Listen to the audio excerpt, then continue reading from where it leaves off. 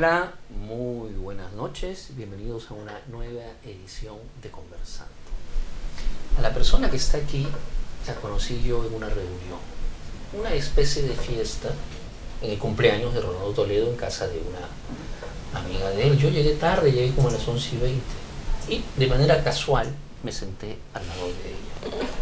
Y conversando poco a poco, lentamente, a mí me impresionó un poco el grado de libertad que ella tenía tranquila y pausadamente al hablar. Lo digo en serio. ¿eh? En un momento en el cual yo sentí que volaba. Ella, ¿no? Por si acaso. Y, volaba sanamente además, porque estaba tomando una Coca-Cola. Y en eso le pregunté, ¿a qué te dedicas? Y me dice, a la fotografía aérea. Y empezó una conversación que no ha acabado y quedamos en tomar un café y aquí estamos, en la Mula TV, tomando este café. Eh, manera que estoy muy contento y muy feliz de tenerla aquí. ¿Quién es Evelyn Merino Reina y por qué he invitado? Además de que me cayó bien, que estuvimos conversando en esa reunión. Es quizá, en mi opinión, una de las futuras más grandes promotoras del Perú. Se dedica a volar en parapente, en avioneta, en helicóptero, en todo lo que pueda volar y a fotografiar el Perú desde un ángulo absolutamente inédito. Y ahora resulta que las fotos del Perú están dando la vuelta al mundo. Y es ella, una chica inteligente, arquitecta, audaz, sagaz, sin duda muy sagaz, la que está vendiendo, entre comillas, a nivel de marca, la marca Perú, valga la redundancia, desde lo ecológico, desde lo natural, desde lo distinto, desde lo pasional y desde lo ecológico, desde lo medioambiental, por decirlo. Seguramente Evelyn terminará en África o sabe Dios por dónde, y yo he querido conversar antes de que se haga famosa con ella aquí en Conversando. Evelyn, bienvenida primero. Gracias, gracias. ¿Qué tal introducción? No, pero, ¿es verdad o no? Bueno, un poquito, un, poquito. de cosas. Ya, ok, muy bien. Dime, de niña tú, ¿qué querías ser? De niña yo quería ser astronauta. Astronauta, yo también. Sí, es el clásico de todo. ¿Y qué fantasías tenías como, como astronauta futura? Ir lo más lejos. Ir, lo, más, lejos posible, ver, descubrir. Ya, y eso tiene ese ver, descubrir, ese estar en el cielo o arriba o más allá del arriba, no lo sé, cómo lo sientas. ¿Tiene algo que ver con tu actual ocupación y trabajo? Bueno, en realidad ahora que me lo preguntas, porque es algo que no, no me había ni siquiera preguntado yo desde hace años que quería hacer, creo que sí. Este, tiene todo, todo que ver, todo que ver, estar haciendo lo que, lo que mi instinto quería hacer desde niña, ¿no? Mm. Bueno, ¿y qué se siente volar en el aire? Pero antes que me respondas, le voy a pedir a Lucho, Lucho, ¿podemos pasar el video del mosquito? Quiero que la vean en otra faceta.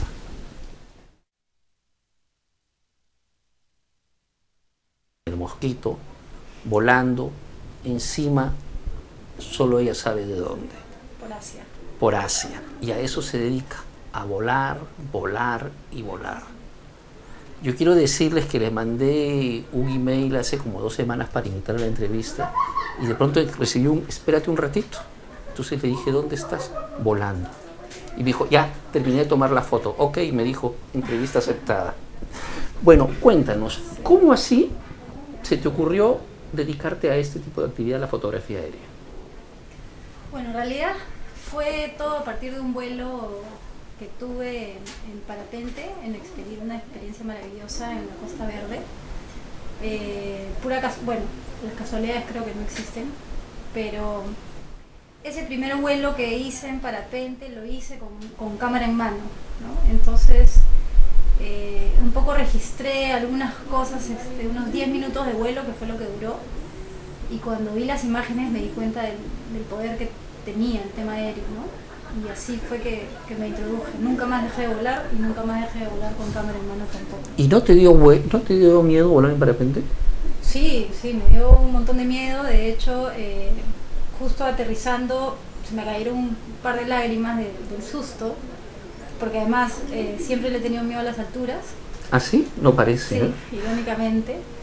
Eh, pero en realidad eh, lo que hicimos justo bajando con el piloto que me vio así me dijo, mira, en realidad tenemos que volar otra vez ahorita o vas a seguir conmigo. Entonces le dije ya, subimos, volvimos a volar y, un poco, poco a poco se me fue yendo el miedo, ¿no? En realidad las ganas de, fotografiar eran más que el miedo. ¿Y tú fuiste porque querías fotografiar, porque querías tener experiencia en parapente? No, en realidad eh, este amigo, yo acababa de llegar a regresar de Europa, había vivido en Europa dos años, y este amigo me dijo, mira, Evelyn, este, ahora estoy volando parapente, es increíble y quiero compartir esa experiencia contigo. Ven y trae tu cámara.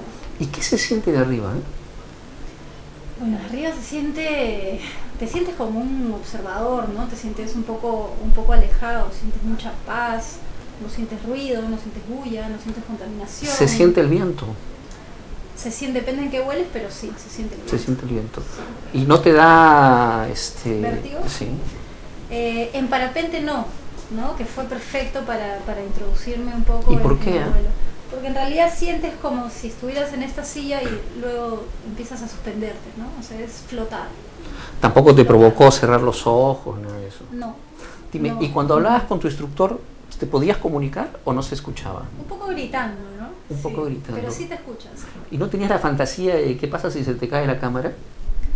Eh, la tenía bien amarrada, pero sí se me han caído algunas cositas en vuelos. No te creo, que sí te ha caído. baterías de la cámara, tarjetas de memoria. ¿Y qué haces después? ¿Vas a recuperar a la zona o no? Eh, no, las he perdido todas. ¿Las has perdido Felizmente eh, han sido siempre en zonas descampadas y, sin herir a nadie.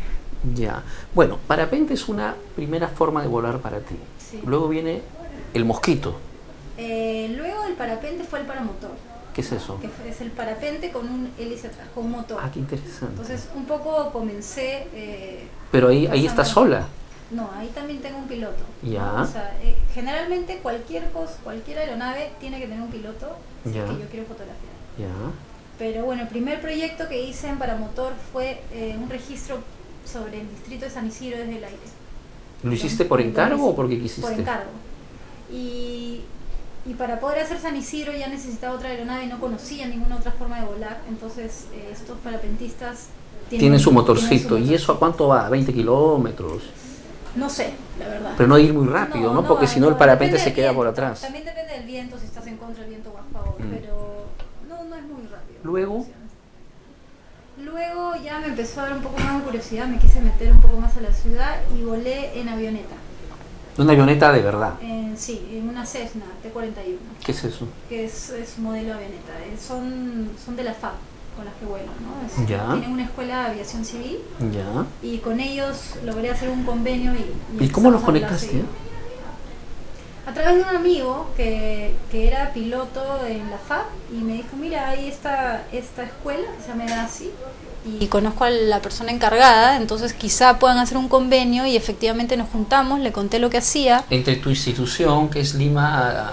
Lima más arriba es un proyecto, ¿no? Mi, mi, estudio se llama Visart.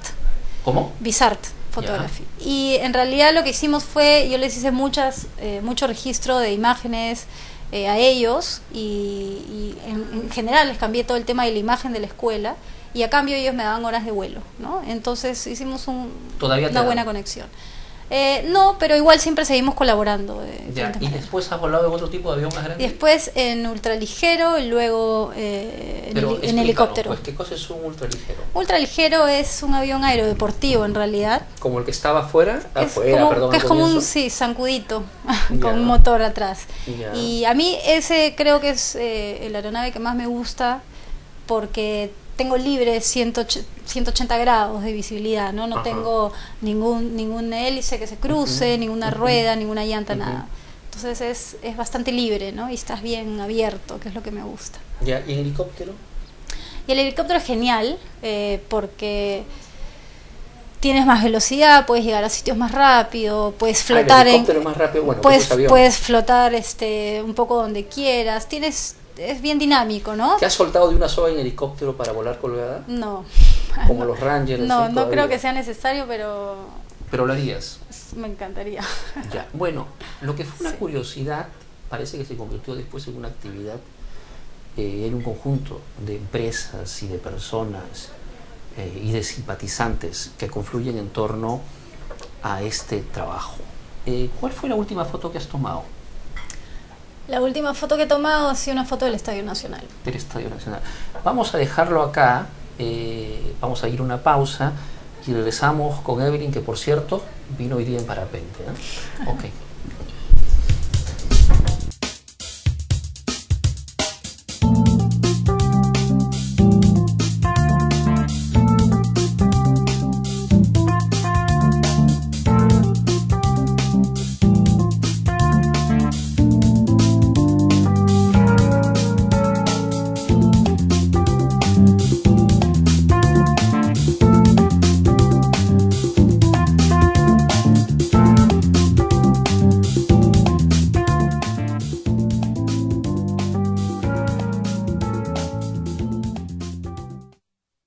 Me gusta la revista Poder por la calidad de los análisis que tiene. Tiene un análisis político-económico, tiene una buena combinación entre política y economía. Creo que ha venido a llenar un espacio eh, dentro de las revistas peruanas. Poder llenó un vacío en el periodismo del Perú, del periodismo escrito, hace investigación, investigación económica y de la buena.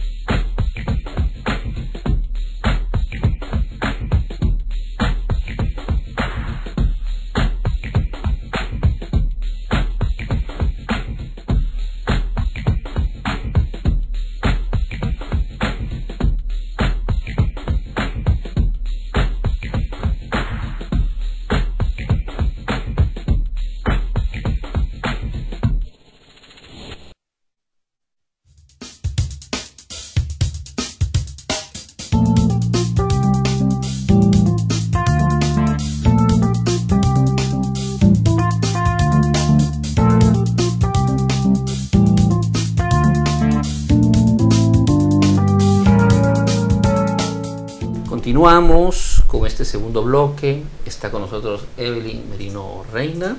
Estamos hablando de ella y sus viajes, el cielo, las nubes, los vientos, el Perú visto desde su particular óptica, desde arriba. Entonces continuamos, Evelyn, y, y la verdad es que no sé qué preguntar con una persona tan, tan con tanto bagaje, pero sigamos en el aire. Dime una cosa, ¿es distinto volar en un avión ligero a volar en helicóptero para ti? Sí, definitivamente cada aeronave tiene su particularidad y es, es, bastante, es bastante distinto, sobre todo por el tipo de visión que tienes con cada uno, ¿no? Algunos estás mucho más limitado, tienes solamente un lado para fotografiar, entonces el piloto también eh, ahí juega un papel importante, tiene que saber ponerte en el ángulo exacto, en el momento exacto, eh, y, y, tú le vas indicando. Quiero le voy indicando, y el piloto ya sabe. Vamos en comunicación normalmente, pero definitivamente hacemos un prevuelo, ¿no? En el que un poco le explico qué es la, la, necesidad y los puntos exactos por los que quiero pasar.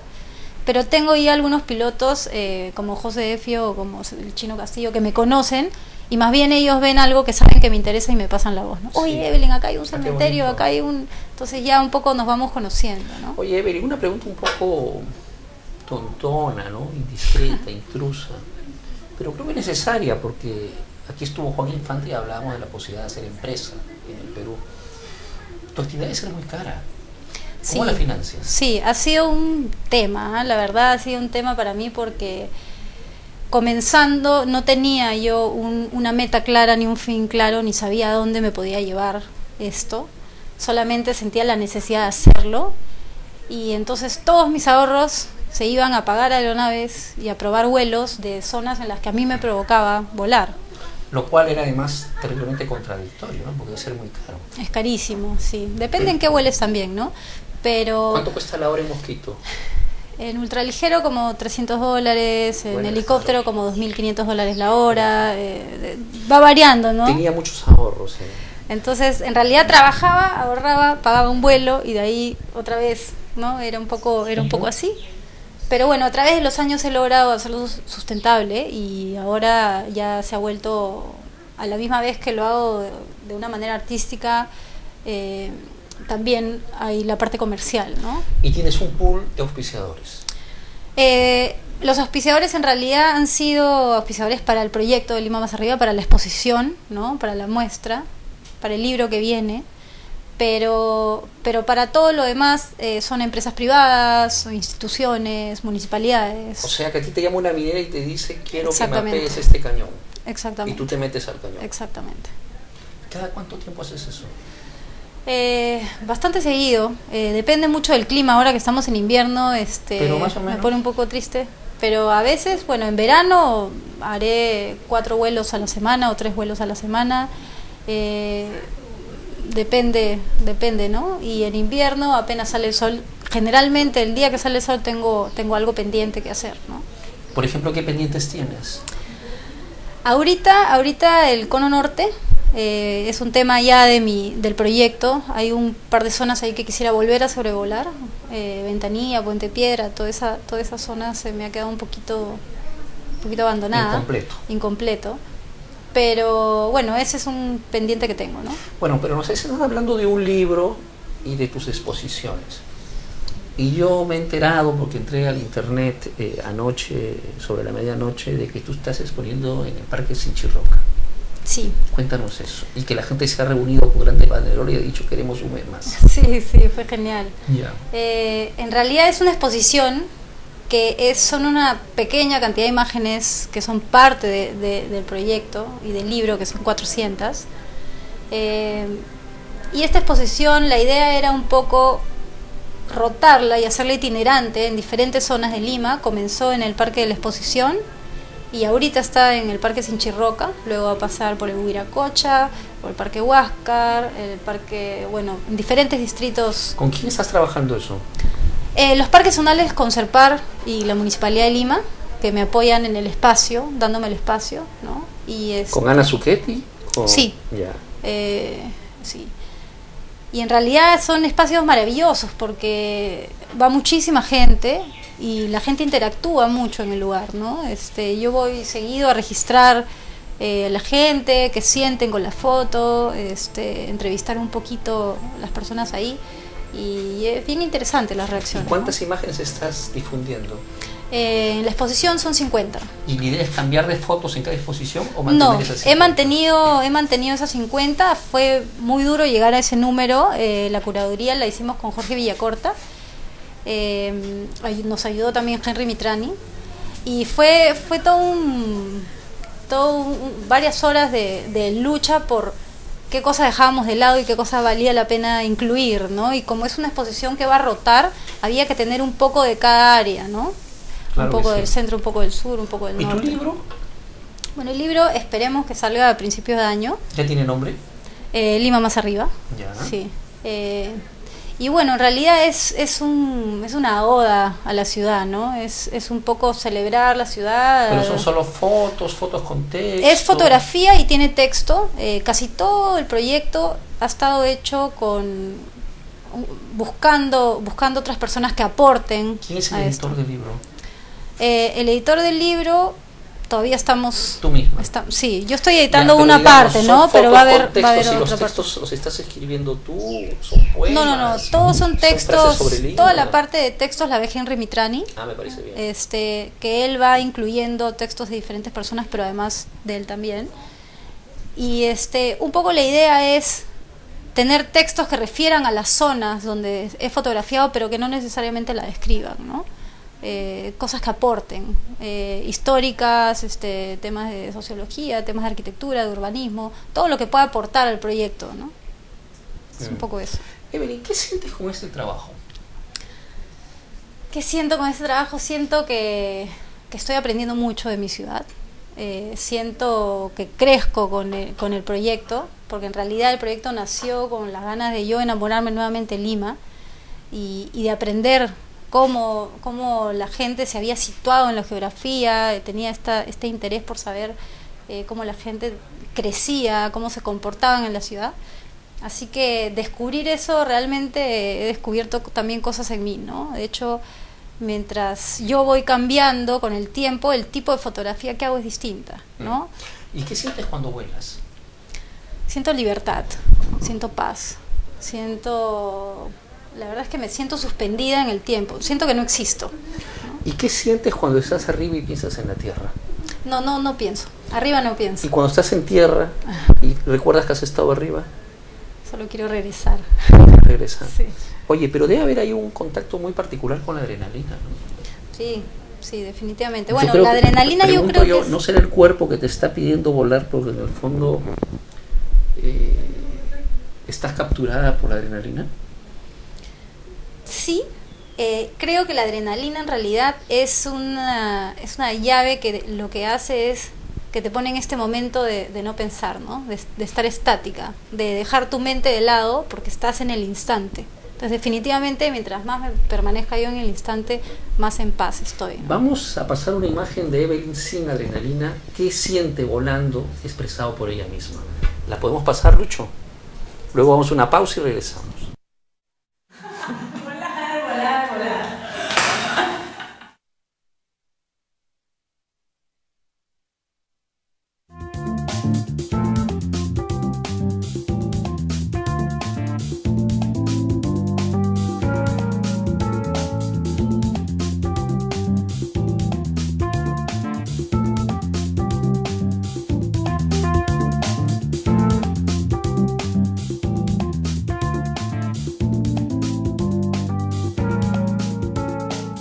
Mí me gusta leer Poder porque te reta y te incomoda con inteligencia y con estilo. Leo la revista Poder desde su primer número hace ya justamente tres años, porque es una revista indispensable en la formación de todos quienes queremos entender lo que pasa en el Perú. Es creativa, es inteligente y tiene rigor. Y eso para mí es el periodismo que me gusta y por eso leo Poder.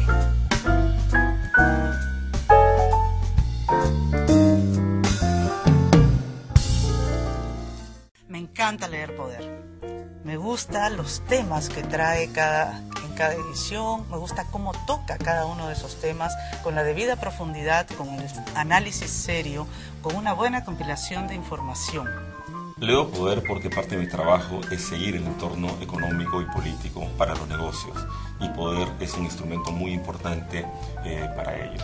Es sumamente valioso porque además de darle agilidad, permite visualizar cosas que se entienden más claramente con una imagen que incluso con un párrafo.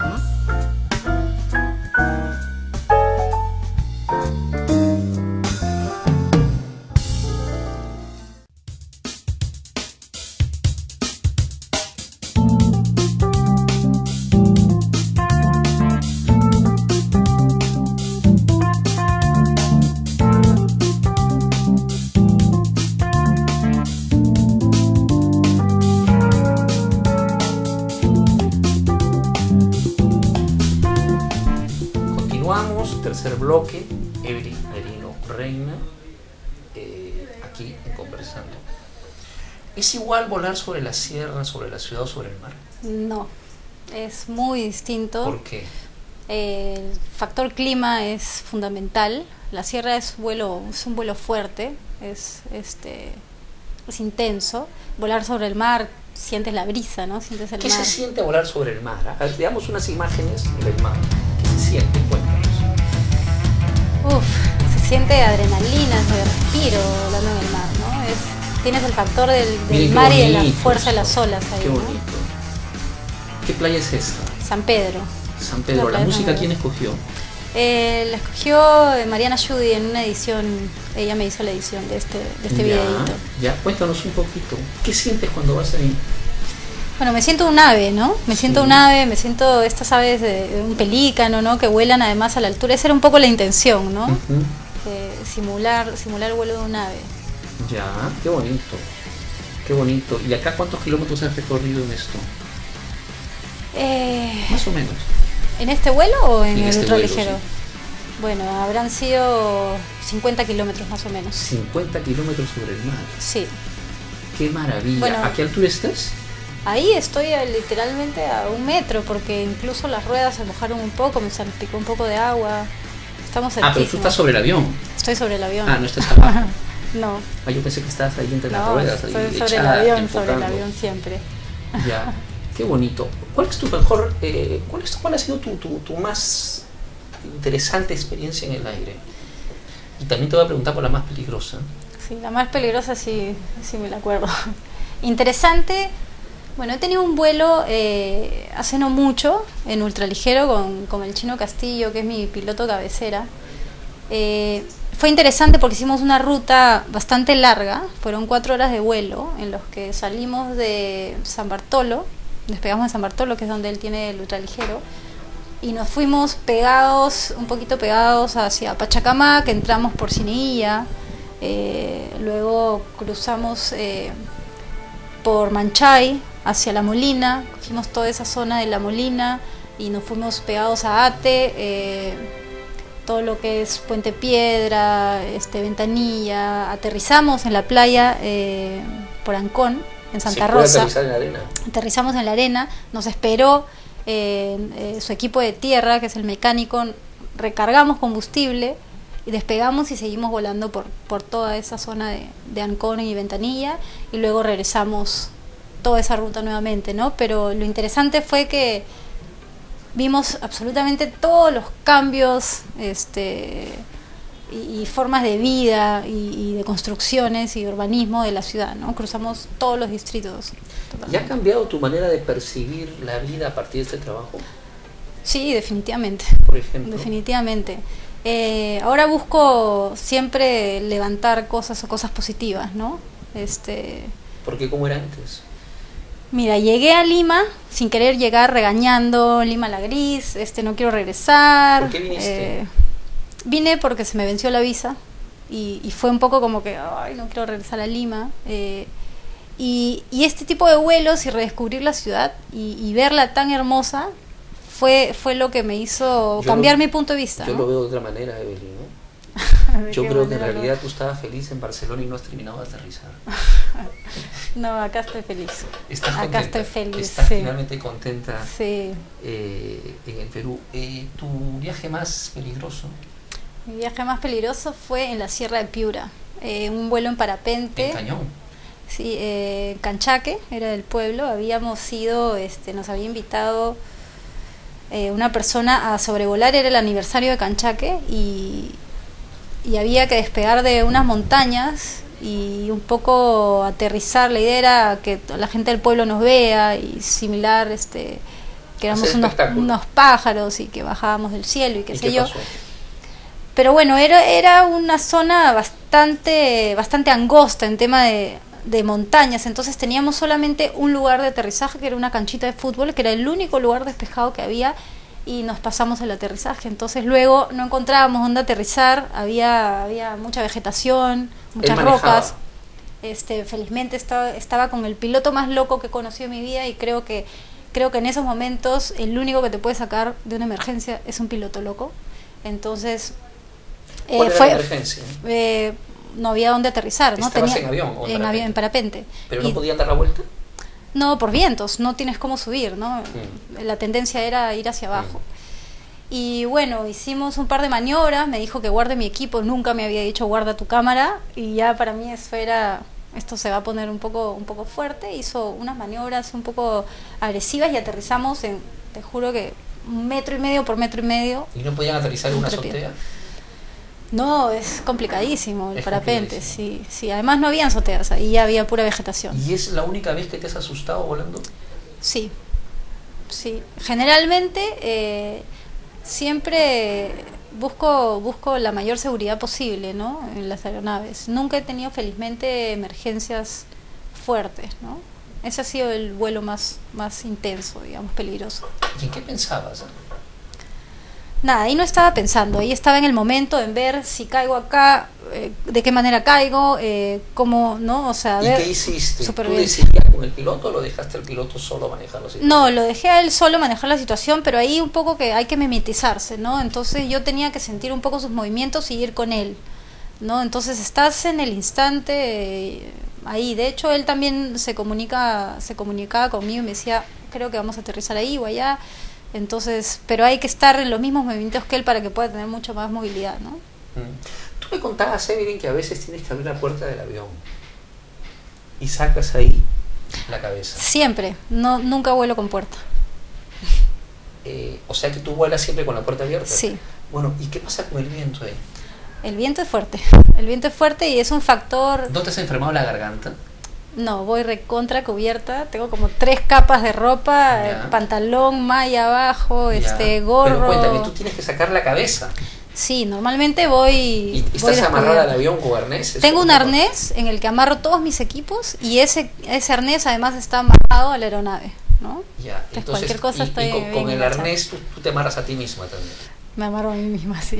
¿Y nunca, nunca te ha sido el cuerpo un poquito de más? No, así? no, el viento depende en qué vueles, pero el viento no te lo permite, ¿no? Incluso Ah, eh, porque tú sales y el viento te regresa. Sí, Ah, qué in- maravilla. Incluso cuando vuelo con teleobjetivo, con teles, ¿no?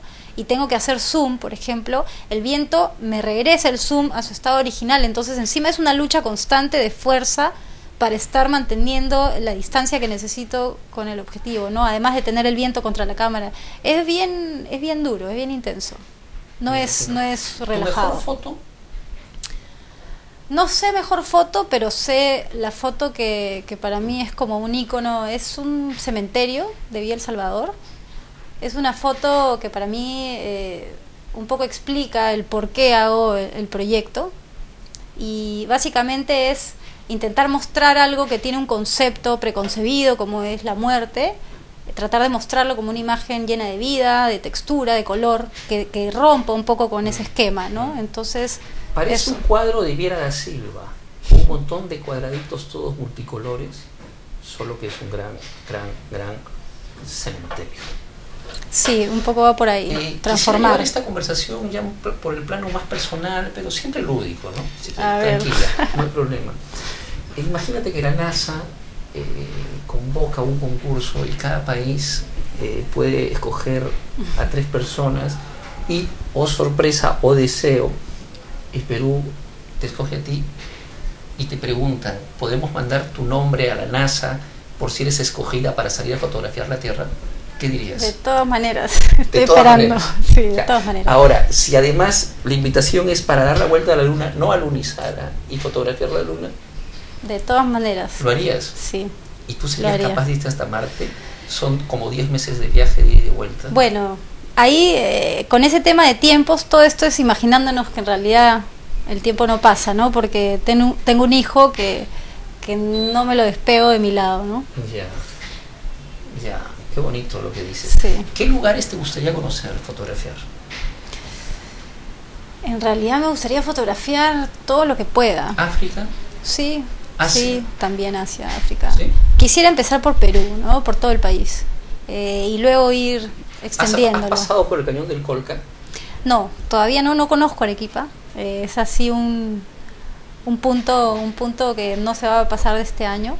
Pero además el cañón del Colca, por lo que sé, es un sitio bien peligroso de volar, de Por lo sobrevolar. tanto, no irías. Entonces tendría que, habría un análisis que hacer ahí eh, en tema de horarios, eh, épocas, temporadas y aeronave, ¿no? ¿Sabes que ha habido terremoto en Costa Rica? Sí, me acabo Y de que ha enterar habido ahorita. alerta de tsunami. Sí, Ya, imagínate que te llaman y esto es posible, pues porque hay un avión ultra rápido que te lleva y te dicen queremos que vayas y filmes el tsunami a 4 metros de altura, o a 5 o a 6, tú sabrás. ¿Lo harías? sí, claro. Sí. Sí, me parece un registro, un registro Y- y- y- importante. o sea que tú te pondrías delante de una ola de 20 metros. Bueno, si tengo, si tengo la aeronave esta que tú dices que es piloto. rapidísima y al piloto, sí, claro. Qué maravilla. Sí, hay cosas maravilla. que creo que son importantes siempre registrar. ¿Qué deportes has hecho de chica? Deportes todos. He pasado por muchísimos deportes. Siempre ¿Has jugado es- fútbol? Sí, es, siempre me ha ¿Tabla encantado el deporte. Eso hasta ahora lo hago, me encanta. Me encanta. Otra pasión. Cuéntame más, Eh, cuéntame más. hockey sobre césped, he jugado ¿Patinaje también. sobre hielo? Eh, no, Ah, yo sí he hecho. eso no he hecho. Eh, pero bueno, tenis, un poco de todo, ¿no? Me gustan muchísimo los deportes, Bien. muchísimo. Eh, vamos a ir a una pausa, paso un video de Evelyn y luego viene un cuarto bloque en el cual vamos a hablar ya de ella como persona, como creativa, como fotógrafa, dejando ya de lado el plano profesional.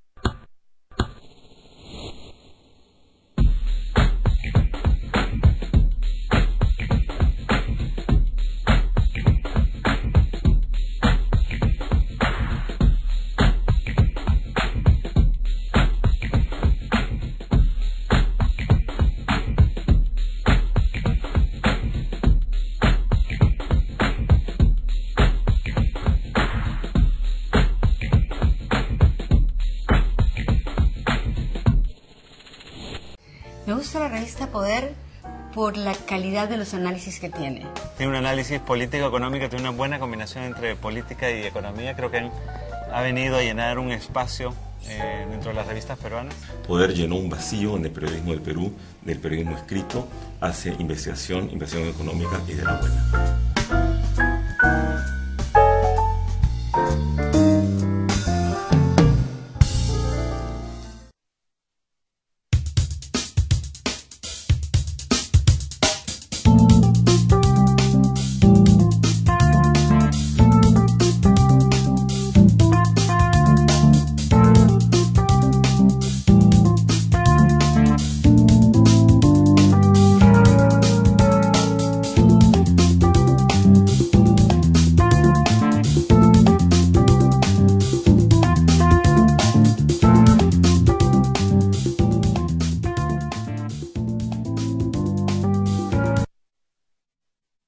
Esta es Evelyn a punto de volar, preparándose.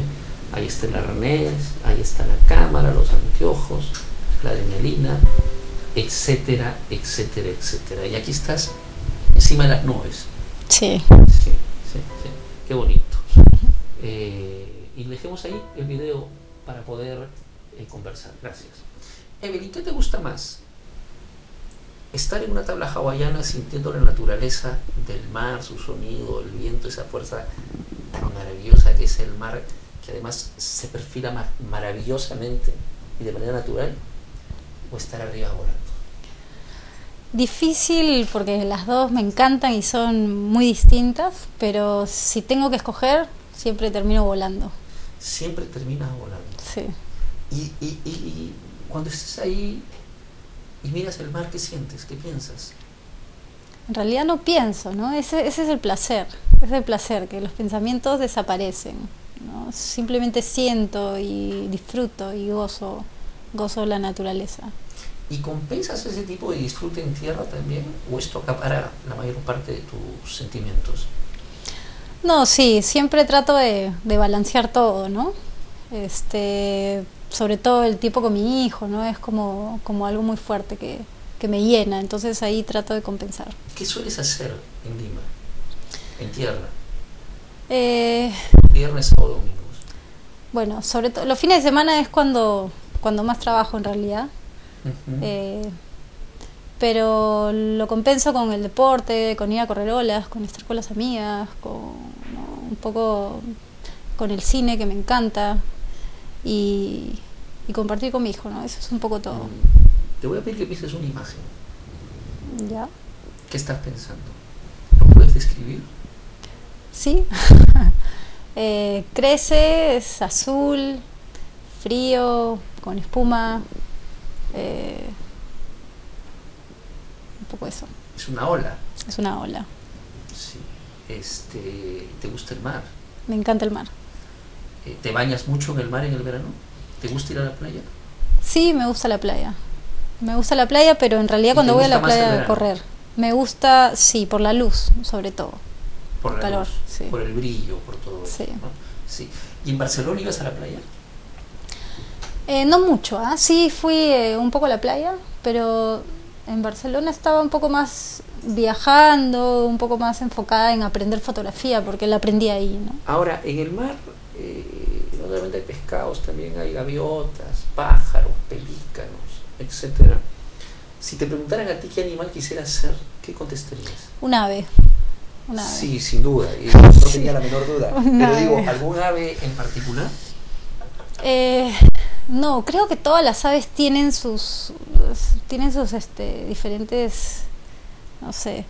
Eh, me encantaría ser un cóndor, ¿no? Sí. Eh, pero también ¿Te me encantan los piqueros que se zambullen, ¿Te, en- te puedo preguntar por qué? porque vuelas a alturas distintas, tienes tienes cruzas desde las montañas hasta el mar. eh, tienes diferentes geografías que ves, ¿no? El tema de los piqueros del norte se zambullen en el agua, entonces también tienen algo, algo simpático ahí. Depende, ¿no? Creo que no, no me gustaría ser uno en particular. Yo siempre he pensado que la selección peruana de fútbol debería tener como camiseta el negro del cóndor, en vez de tener un blanco así, eh, que además ensucia. Eh, me encanta esto que te simbolices con un animal fuerte eh, y muy Mm. peruano. Ahora, ahora, el cóndor es de alturas. Sí. ¿Y ¿Hasta dónde empieza a llegar con este trabajo? Bueno, espero que hasta el espacio, pues. de verdad. Me encanta, te de creo. verdad, de verdad, Te espero. creo, te vamos espero. postular a las- En Sí, realidad sí, sí. creo que, bueno, hay varios fotógrafos que, que han hecho trabajos también eh, en vuelos bastante altos, incluso con oxígeno. Oye, pero te tengo una muy buena noticia. Hoy día se puede fotografiar el espacio desde un satélite. Sí, Así pero no gracia, nunca ¿no? es lo mismo. Nunca es lo mismo. Igual ahora tienes el Google Earth y, y puedes hacer muchas cosas, pero, pero igual yo prefiero siempre estar, estar con la cámara en mano. ¿Y de dónde te gustaría partir? ¿De Houston o de Rusia, de China? Mm, me daría igual, con tal de partir. Con tal de partir, Sí. sí. Imagínate en África, ¿ok? Estás volando en África. ¿Qué te gustaría estar mirando? Me encantaría estar volando al costado de alguna manada de animales que Qué va bonito, de corriendo. cebra, por sí, ejemplo. por ejemplo. De elefantes, de Sí, jirafas. exacto. Y si estuvieras sobre el desierto, También genial, ¿no? El desierto es mágico. El desierto tiene, tiene, tiene unas sensaciones que no tiene ningún otro lugar del mundo. mm. y si estuvieras sobre ciudad, ¿en qué, lugar, ¿en qué lugar te gustaría estar volando? Me encantaría volar a India, por ejemplo, ¿no? Eh, que, es- que me lo imagino, me lo imagino fuerte, Fuerte. sí. Este, me gusta poder encontrar cosas que tengan contrastes fuertes, ¿no? O que tengan intensidad. ¿Y has volado sobre la selva? No, todavía no he volado sobre la selva. ¿Por este, qué? A la selva le tengo un poquito de respeto. Me parece que... Por el clima. Sí, es un Oye, clima pero debe ser fascinante volar sobre un río color fascinante, fascinante. Y, y bueno, Con- con es sol ahí parte de, de- de proyectos que ojalá lleguen, ¿no? Pero, pero sí, he comenzado un poco con la costa, que, que lo he tenido un poco más fácil. Eh, Ahora, tengo la impresión que vas más al norte que al sur, ¿no? no he hecho también vuelos en el sur, pero la verdad es que tengo una fascinación por el norte. El norte del Perú, la costa, tiene una vida marina hermosa, tiene un, color y una luz espectacular, una geografía fuerte en tema de desierto. Este, es maravilloso el norte. ¿Y las islas que están más allá cómo son? Esas que no Eh. se ven desde, desde el litoral. Bueno, no he podido llegar a, a- a esas islas porque no es tan simple y no es tan fácil volar y alejarse tanto de la costa si no tienes aeronaves que tengan dos motores, ¿no? Por temas de seguridad, este, Y los dos funcionan. sí. Eh, Oye, Evelyn, este, yo quisiera un día eh, acompañarte Volar. en uno de tus vuelos. ¿Se puede? sí, claro. Ah, me encantaría. Sí, cuando ¿Y vaya en avioneta te voy a llevar, que hay espacio no se atrás. puede. No, en avioneta sí tengo Pero espacio yo atrás. manejo el parapente. No, me muero. Siempre. Ya, prometido, ¿ah? Prometido, Ya, eh, prometido, Lucho, vamos. ¿Tú crees que podemos llevar la cámara de la mula? Tendremos que hablar con Rolando. Ya, bueno, yo a Rolando lo convenzo ya. Entonces, prometido. en Prometido, yo te llevo. Bien. Dime una cosa, Evelyn. eh, tú estás enamorada de tu trabajo. No de mi trabajo, sino eh, de fotografiar. Fotografía. Sí. ¿Y con el resto de tu vida qué? Bueno, estoy enamorada de la vida, en realidad.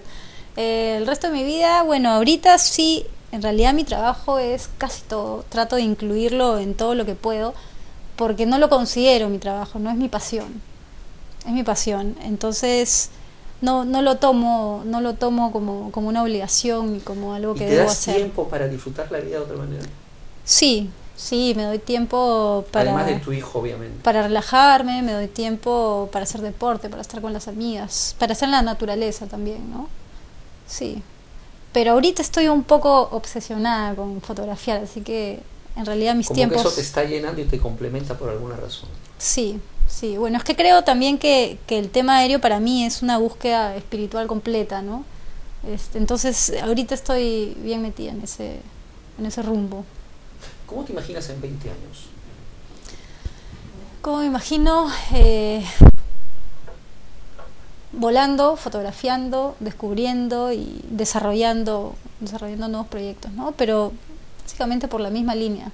¿Y hasta dónde crees que llegues con esto? No sé.